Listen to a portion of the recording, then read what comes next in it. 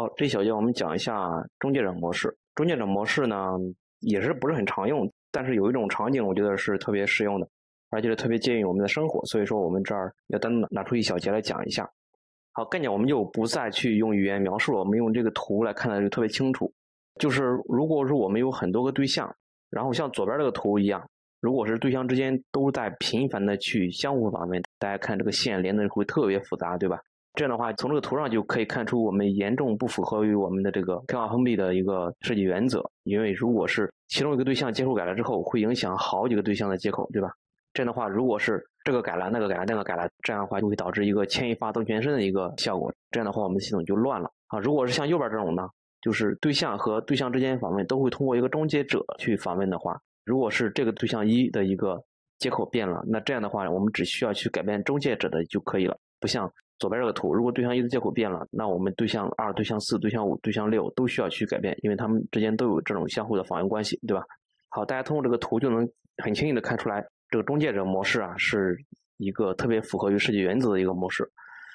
好，我们看一个例子啊，比如说我们右侧 Class A、Class B 是买房子和卖房子的两个人，因为我们现在这个房子都是生活的一部分哈，就是不管是买房还是租房。你都需要通过中介，你如果是自己去弄的话，会很麻烦，而且没有这种资源。所以说，我们如果是通过中介来去咨询或者说处理房子的问题，这样的话就会方便很多，对吧？因为比如说你是一个买房子的，那个卖房子的人可能会有很多，对吧？如果你是一个卖房子的，那个买房子的人可能会有很多，这样的一种关系，如果是没有中介的话，然后这个买房子和买房子的人直接去交互，可能会导致非常的杂乱。咱先且不说这个价格的问题哈，就中介费的问题。就是如果是你设计一个系统，让买方和卖方直接交互的话，这样的话，这个复杂性就会提高很多很多倍，这样肯定是不利于我们系统的设计的。所以说，我们要加入一个中介者，类似于这种买房子和卖房子的人中间有一个中介的操作。比如说，A 有一个 number，有一个数，我们就可以认为它是一个价格啊。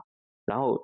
set number 的时候呢，我们想去把这个 B 来改了，这样的话，我们不能直接去改 B，我们要怎么办呢？我们要通过 M 点 set B。就是让通过一个中介者来去修改 B，我们不能直接操作 B 的方法。B 也是，如果是他要修改这个 number 的话，他要通过这个 M 去 set A，就是通过中介者来去改 A，不能自己去改 A。好，中介者呢，其实就特别简单了，就是他需要同时维护这个 A 和 B，然后 set A 的时候和 set B 的时候呢，都可以去通过这个 A 点 set number 和 B 的 set number 去修改这个价格。这样的话。中介者就可以做他自己的逻辑处理，比如说我们把这个 number 乘以一百，比如说把这个 number 除以一百，都可以做自己的处理，因为中介者也需要收取中介费嘛，对吧？而且它中间也需要做一些各种各样的逻辑。好，这样的话，我们就会把这个 A 和 B 之间的这个交互关系给它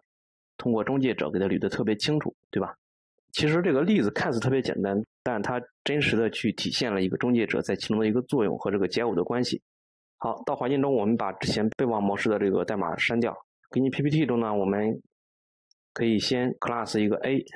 然后 constructor 里边，我们给它初始化一个 number，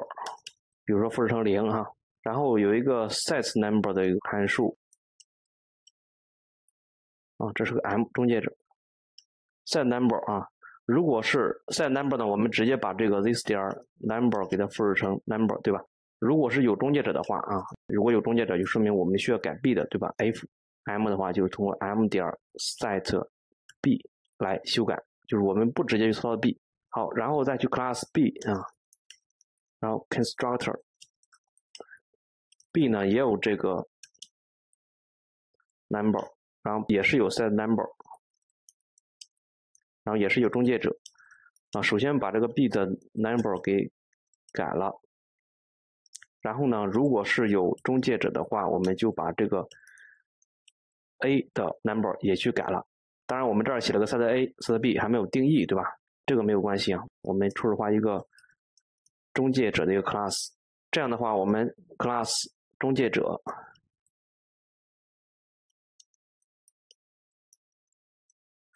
中介者初始化的时候呢，要把 A、B 都给它传进来。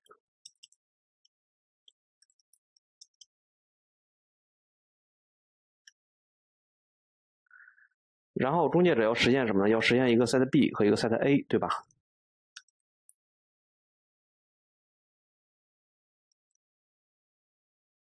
好，set B，set A。OK，set B 的时候呢，就是我们首先要获取这个 list 点 A 点 number，就是把 A 的 number 给它拿到，然后呢，在 list 点 B 点 set number，然后把这个 number 给它传进去，对吧？A 的 number 给它传进去啊。当然，我们中间可以做一些处理，比如说我们假定来乘一个一百，set A 的时候也一样，我们把这个 B 的 number 给它拿到，然后呢，list 点 A 点 set number。然后把 number 做一个处理，比如说我们除以一个一百啊，啊，这就是终结者所做的一个作用。好，接下来我们写一个测试啊，然后初始化一个 A，初始化一个 B，好，初始化一个中介者，好，要把 A、B 传进去。好，这样的话，我们 A 点 set number 一百，对吧？B 呢也可以 set number。一百，A set 完之后，我们可以打印一下 A 点 number 和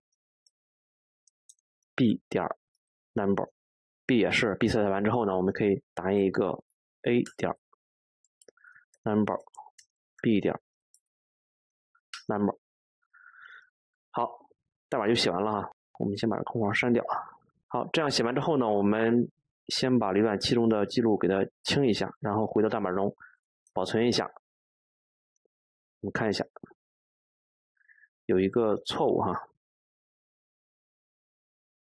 哦，这儿写错了，应该是 class B。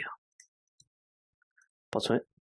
哦，刚才有一个地方有一点疏忽，我们这儿简单改一下啊，大家也跟着我一块改一下。就是我们在这个 A 的 set number 和 B 的 set number 的时候呢，我们要把这个 M 给它传进去，因为这个 M 是一个中介者，如果不传进去呢，那这个 M 就没有什么用了，对吧？我们看一下，A M 传进去的时候呢，A 点 set number 的时候呢是传入一百，传入一百的时候呢，我们先把这个一百给它复制成 A 点 number，对吧？然后 M 点 set B，set B 的时候呢，